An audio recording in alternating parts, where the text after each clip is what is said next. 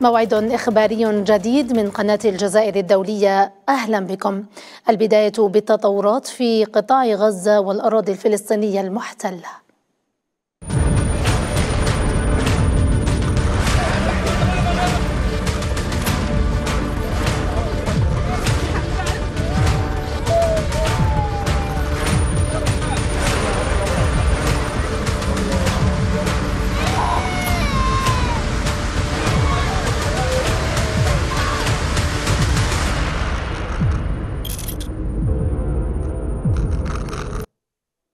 أهلا بكم من جديد. استشهد ستة فلسطينيين على الأقل في قصف وإطلاق نار صهيوني استهدف المواطنين ومنازلهم وسط قطاع غزة وفق ما أفادت به مصادر إعلامية محلية. واستشهد خمسة مواطنين وجرح آخرون إثر قصف الاحتلال منزلا يؤوي نازحين غالبيتهم من النساء والأطفال غرب مخيم النصيرات. كما استشهد مواطن وجرح تسعة آخرون إثر إطلاق جيش الاحتلال الإسرائيلي النار صوب المواطنين أثناء انتظارهم المساعدات قرب الدوار الكويتي جنوب مدينة غزة نقلوا إلى مجمع الشفاء الطبي. وفي وقت سابق استشهد أربعة مواطنين وأصيب أكثر من عشرين آخرين إثر استهداف جيش الاحتلال مواطنين بدوار النابلسي غرب مدينة غزة. هذا وقالت وزارة الصحة الفلسطينية في غزة إن الاحتلال الصهيوني ارتكب تسع مجازر ضد العائلات في قطاع غزة خلال الأربع والعشرين ساعة الماضية. راح ضحيتها ستة وثمانون شهيدا ومئة وثلاثة عشر جريح. وزارة الصحة في بيان لها الأربعاء أعلنت ارتفاع حصيلة ضحايا العدوان الصهيوني على القطاع إلى 30717 شهيدا وأكثر من 72100 جريح منذ السابع من أكتوبر الماضي. مشيرة إلى أن عددا من الضحايا لا يزالون تحت الركام وفي الطرقات يمنع الاحتلال وصول طواقم الإسعاف والدفاع المدني. إليهم.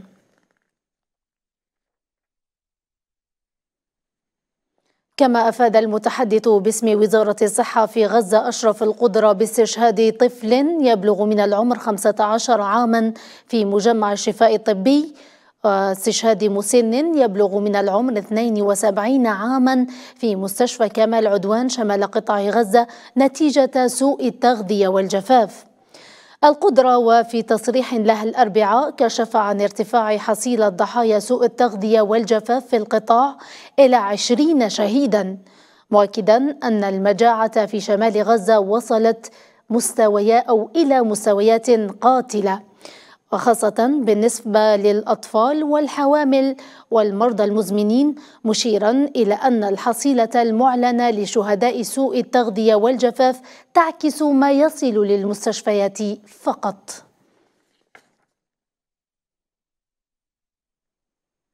تعد الحوامل من أكثر الفئات الفلسطينية تضررا من الإبادة الجماعية التي يشنها جيش الاحتلال على قطاع غزة منذ ما يقرب من ستة أشهر حيث تضطر الكثيرات منهن إلى الولادة في أماكن النزوح التي تنعدم فيها الرعاية الصحية.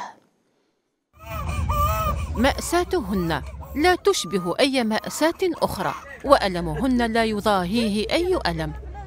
مخاض عسير تحت القصف وولادة صعبة بعد رحلة نزوح طويلة محفوفة بالمخاطر. إنهن نساء غزة اللاتي واجهن الأهوال أثناء الحمل وعند الولادة في زمن الإبادة. كنت قاعد كثير كثير خايفة أفقد البيبي لأني قلت خلص أنا راح أموت. يعني أنا لحالي في الصف ما معي لا أهلي لا حد. يعني فيش إلا أولادي معي زوجي مش عارفة إيش أعمل. وفيش يعني جديدة في المنطقة ما بعرف حد. يعني قلت يا رب توكيلي عليك. وفقا لمنظمة الصحة العالمية بلغ عدد النساء الحوامل في غزة 52 ألف امرأة. حياتهن معرضة للخطر بسبب استمرار العدوان. ولأن معظم مستشفيات القطاع أصبحت خارج الخدمة جراء القصف والحصار تمنح حوامل غزة الحياة لأطفالهن في أماكن النزوح. فأنا رحت وقتها شفت الست كانت بحالة ولادة كانت على وشك الولادة والوقت كان كتير متأخر وكانت الاحتلال يقصف أي أي حركة.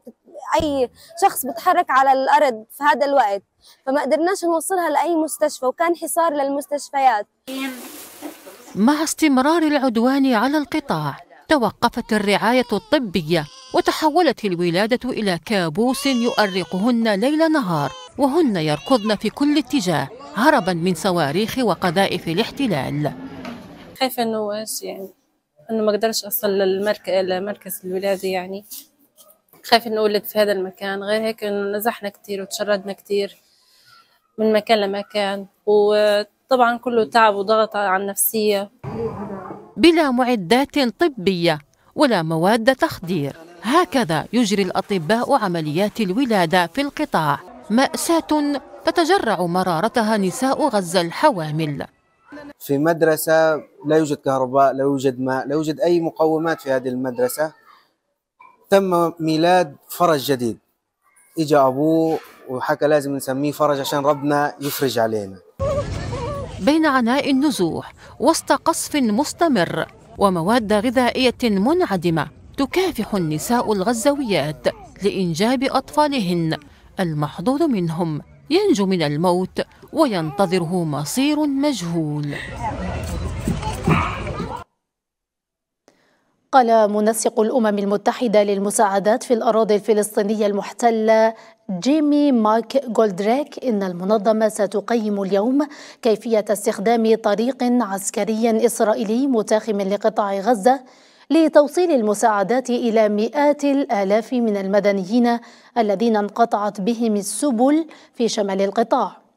وأضاف مايك جولدريك أن الأمم المتحدة تضغط على إسرائيل منذ أسابيع لاستخدام طريق على السياج الحدودي مع غزة لافتا إلى أنها ستجري تقييما للطريق الجديد المحتمل اليوم للتحقق من حالة الطرق داخل غزة وضمان عدم وجود متفجرات وتحديد نقاط التوزيع المناسبة للمساعدات.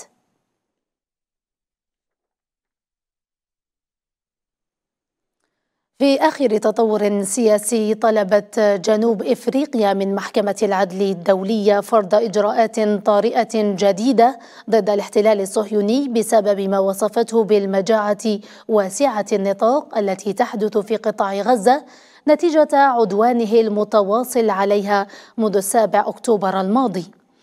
وقالت جنوب إفريقيا في بيان إنها اضطرت للعودة إلى المحكمة على ضوء الحقائق الجديدة والتغيرات في الوضع بغزة والذي وصفته بالشديد الاستعجال خاصة ما تعلق بالوضع الإنساني في ظل المجاعة التي تحاصر السكان مشددة على الحاجة لمزيد من الإجراءات لضمان سلامة وأمن أكثر من مليوني فلسطيني في القطاع.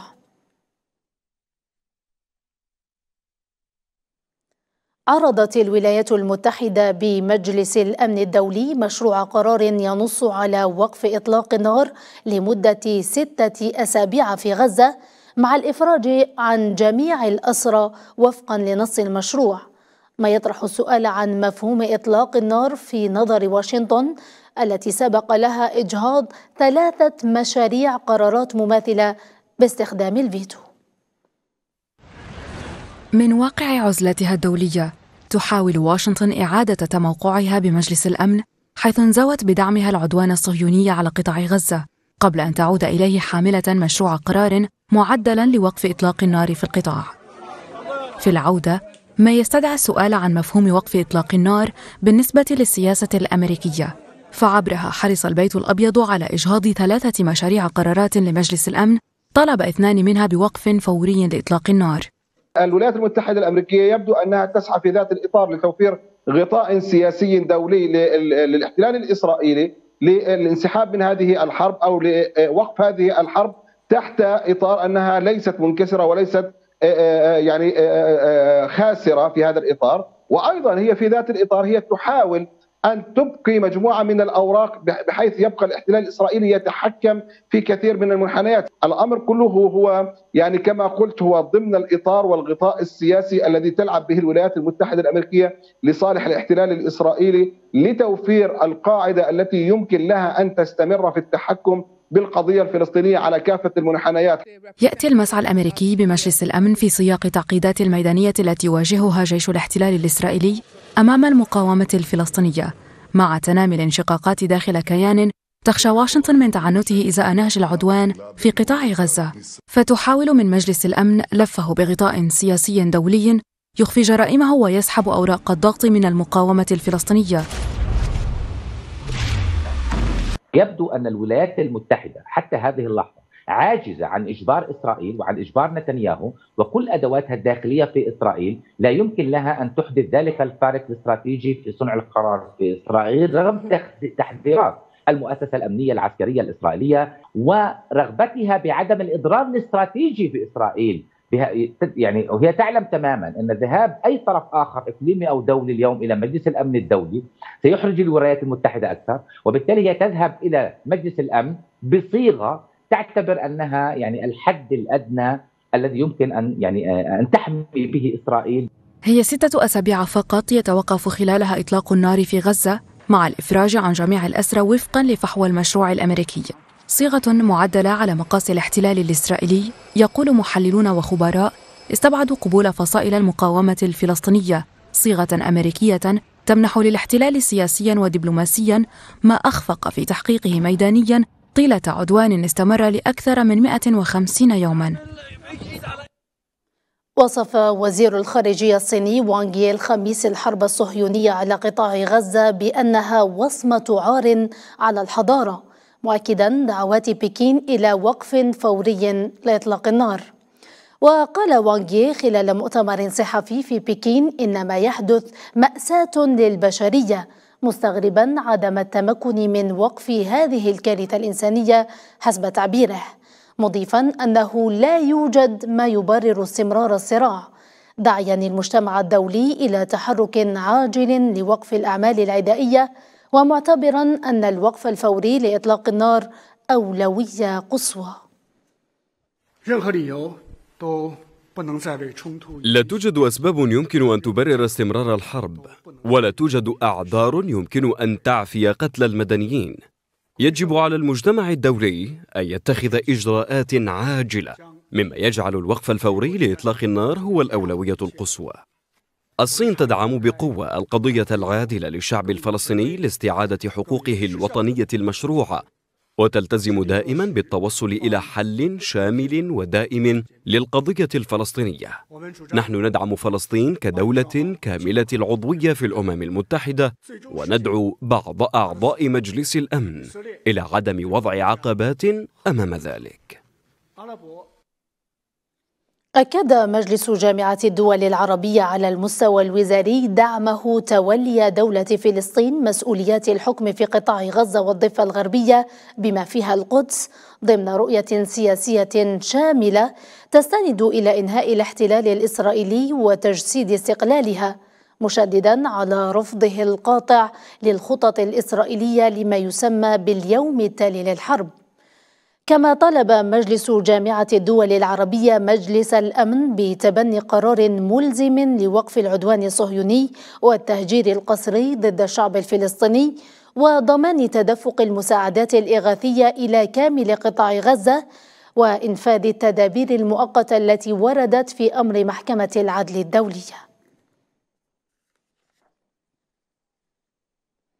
بدوره أكد وزير الخارجية الجزائري أحمد عطاف على أن الجزائر ستواصل جهودها ومساعيها ليتحمل مجلس الأمن الدولي مسؤولياته تجاه ما يعيشه الشعب الفلسطيني في قطاع غزة وذلك بتعليمات صارمة من الرئيس الجزائري عبد المجيد تبون عطاف وفي كلمته خلال أشغال الدورة الحادية والستين بعد المئة العادية لمجلس جامعة الدول العربية على المستوى الوزاري دعا إلى ضرورة اتخاذ إجراءات عملية وتكثيف الجهود الجماعية لوقف حمام الدم والإبادة الجماعية ووضع حد للجرائم التي يرتكبها الاحتلال في قطاع غزة. يحتم علينا كجامعة اتخاذ إجراءات عملية وتكثيف جهودنا الجماعية من أجل وقف حمام الدم والإبادة الجماعية في هذا الإطار وبتعليمات صارمة من رئيس الجمهورية السيد عبد المجيد تبون فإن الجزائر التي جعلت من القضية الفلسطينية شغلها الشاغل وعنوان جميع تحركاتها منذ انضمامها لمجلس الأمن. ستواصل جهودها ومساعيها وستكرر المحاولة تلو المحاولة حتى يقوم هذا المجلس بتحمل المسؤوليات المنوطة به تجاه الشعب الفلسطيني كاملة غير محتشمة وغير مترددة. وغير مبتورة. وزير الخارجية الجزائري شدد على ضرورة المساهمة في إنهاء الحصانة التي يحتمي بها الاحتلال الصهيوني مبديا دعم الجزائر استصدار إجراء عقابي يدفع نحو تجميد عضوية الكيان الصهيوني لدى الأمم المتحدة. أما المستوى الثاني من الأولويات والتي يقع علينا كمجموعة عربية الدفع بها اليوم قبل الغد فتتمثل في ضرورة بل حتمية المساهمة الفعلية في هدم جدار الحصانة الذي طالما احتمى به الاحتلال وانتفع في ظله بنظام خاص من التفضيلات والتمييزات والاستثناءات تنطبق عليه دون غيره. تؤيد بلادي ضرورة التحرك أمام الجمعيه العامه للأمم المتحدة لاستصدار إجراء عقابي بتجميد عضوية إسرائيل استلهاما من التدابير التاريخية التي اتخذتها منظمتنا الأممية تجاه نظام الفصل العنصري في جنوب إفريقيا وزير الخارجية الجزائري شدد أيضا على ضرورة الارتقاء بالموقف العربي ليكون في مستوى تضحيات أهالي قطاع غزة داعيا إلى استعادة الدور الريادي العربي في الدفاع عن القضية الفلسطينية وتثبيت الموقف العربي تجاه الكيان الصهيوني. الارتقاء بالموقف العربي جرأة وشجاعة وإقداما حتى يكون في مستوى التضحيات الجسام والصمود الأسطوري لأهلنا في قطاع غزة. هو استعاده الموقف العربي لدوره الريادي في الدفاع عن القضية المركزية لأمتنا العربية والإسلامية حتى تحذو حذوها بقية المجموعة الدولية التي تعتبر موقفنا بمثابة بوصلة ثالثة هو تثبيت الموقف العربي. تجاه المحتل الإسرائيلي دبلوماسيا وسياسيا واقتصاديا كما جدد وزير الخارجية الجزائري الدعوة إلى مباشرة الإجراءات الضرورية لتمكين دولة فلسطين من الحصول على العضوية الكاملة بمنظمة الأمم المتحدة. لا مستقبل لغزة إلا في حضن الدولة الفلسطينية المستقلة والسيدة على حدود عام 1967 وعاصمتها القدس الشريف. وليعلم الاحتلال الإسرائيلي أن لا فيتو له بشأن إقامة الدولة الفلسطينية وأن هذه الدولة قد أسست لها الأمم المتحدة ذاتها منذ 76 سنة. وتكريسا لهذه القناعات الراسخة حول ضرورة تحسين المشروع الوطني الفلسطيني تدعو الجزائر إلى مباشرة الإجراءات الضرورية لتمكين دولة فلسطين الشقيقة من الحصول على العضوية الكاملة بمنظمة الأمم المتحدة. ثمنت حركة المقاومة الإسلامية حماس المواقف الصادرة عن الدورة الاستثنائية لمجلس وزراء خارجية الدول الأعضاء في منظمة التعاون الإسلامي لمناقشة تطورات العدوان الصهيوني على الشعب الفلسطيني في قطاع غزة. حماس وفي بيان لها دعت المنظمة والدول الأعضاء إلى ترجمة المواقف الصادرة في البيان الختامي إلى خطوات فعلية ضاغطة على الاحتلال لإلزامه بوقف عدوانه وحربه الهمجية على الشعب الفلسطيني مؤكدة أن حجم المعاناة والكارثة الإنسانية التي أحدثها جيش الاحتلال الصهيوني في القطاع تستدعي التحرك العربي والإسلامي المشترك والفوري لوقف العدوان والتحرك لضمان عدم إفلات الكيان من المحاسبة على ما اقترفه من فظائع ومجازر غير مسبوقة في التاريخ المعاصر حسب وصفها.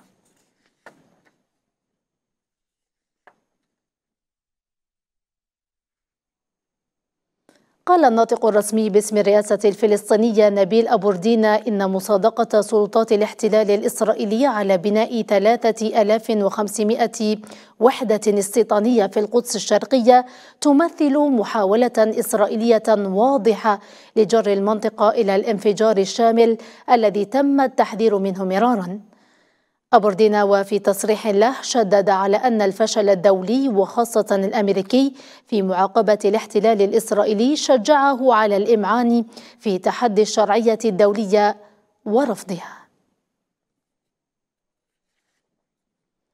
أجرى الرئيس الجزائري عبد المجيد تبون زيارة لعائلة الفلسطيني عبد الله ناصر عرار التي تتلقى العلاج بمستشفى عين النعجة العسكري بالعاصمة الجزائرية بحسب ما أوردته الرئاسة الجزائرية.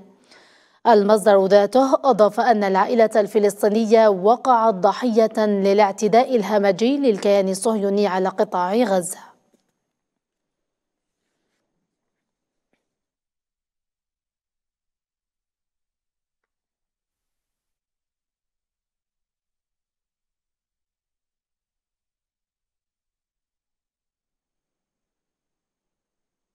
في الضفة الغربية استشهد شاب فلسطيني مساء الأربعاء متأثرا بجروحه التي أصيب بها خلال اقتحام قوات الاحتلال الصهيوني قرية بورين جنوب نابلس الاثنين الماضي.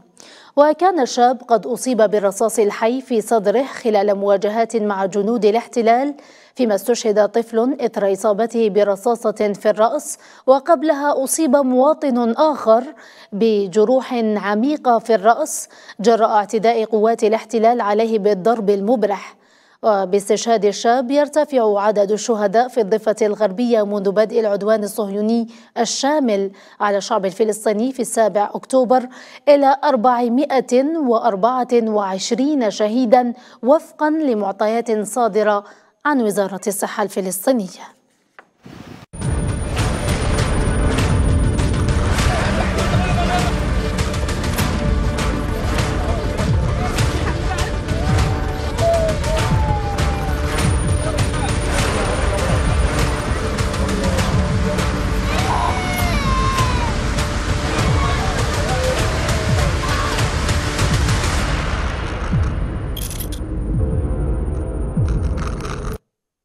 أهلا بكم من جديد. نشرتنا متواصلة مشاهدينا وفي خبر آخر استهدف أو استهدف صاروخ أطلق من اليمن ناقلة بضائع في خليج عدن الأربعاء حيث أعلن أفراد الطاقم مقتل شخصين وإصابة ستة بجروح وفق ما أفاد مسؤول أمريكي لوكالة الأنباء الفرنسية.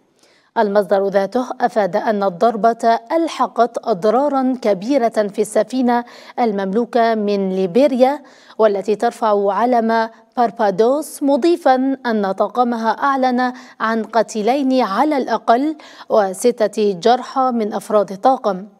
من جهته أعلن الناطق العسكري باسم جماعة الحوثي يحيى سريع استهداف السفينة الأمريكية ترو كونفيدنس بخليج عدن والحاق أضرار بها مجددا التزام الجماعة باستهداف السفن الصهيونية والمتوجهة إلى الأراضي الفلسطينية المحتلة.